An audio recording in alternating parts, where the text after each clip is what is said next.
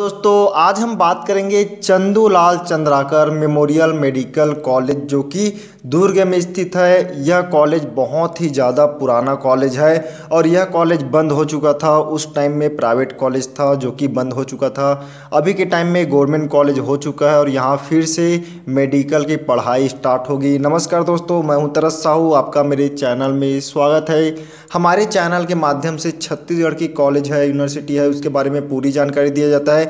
जो भी entrance exam वगैरह है, उसकी इन्फॉर्मेशन आप तक पहुँचाया जाता है। तो चैनल में अगर आप नए हो तो लाइक कर दे सब्सक्राइब कर दे नोटिफिकेशन बेल को प्रेस कर दे, ताकि जो अपकमिंग वीडियो है, उसकी नोटिफिकेशन आप तक पहुँचते रहे। और आप टेलीग्राम में ज्वाइन कर सकते हो, वहाँ ग्रुप में आप आ सकते हो, या फिर आप इंस्टाग्राम में आ सकते हो डिस्क्रिप्शन में लिंक है। आज हम बात करेंगे Chandulal Chandrakar memorial medical government college के बारे में। कंप्लीट बात करेंगे। तो इसकी जो लोकेशन है वो कुरुद रोड कचांदुर दुर्ग में पड़ता है। और इस कॉलेज में आपको 750 बेड की एक बहुत ही बड़ा हॉस्पिटल मिलेगा, जिस हॉस्पिटल में बहुत ही अच्छा इलाज होता है। आसपास के लोग वहाँ जाना बहुत ज़्यादा पसंद करते हैं, स्मार्ट कार्ड में यहाँ बहुत कम फ़ीस में इलाज होता है तो यहाँ सभी जाना पसंद करते हैं। इंटर्नशिप के लिए बहुत ही अच्छा है, चूँकि कॉलेज बहुत ही पुराना है तो बहुत ही ज़्यादा एक्सपीरियंस वाला है। छत्तीसगढ़ की पहला प्राइवेट एमबीबीएस कॉलेज यह था और बंद हो चुका था 2013 से कॉलेज है और अभी इसमें फिर से एडमिशन स्टार्ट होगा। इस साल पहले भी 150 सीट था अभी भी 150 सीट है तो आप यहाँ अप्लाई कर सकते हो।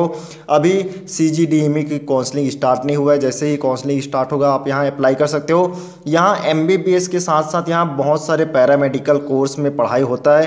पैरामेडिकल कोर्स में कौन कौन से कोर्सेज में पढ़ाई होता है उसके बारे में मेरे पास पूरी डिटेल्स नहीं है इसलिए मैं इसके बारे में नहीं बता रहा हूँ। जैसे ही मेरे पास कोई भी अपडेट आता है मैं आपको वीडियो बना के बताऊँगा। और यह कॉलेज दुर्ग में स्थित है, दुर्ग सिटी के बहुत ही पास है मतलब दुर्ग सिटी में ही है बोल सकते हो।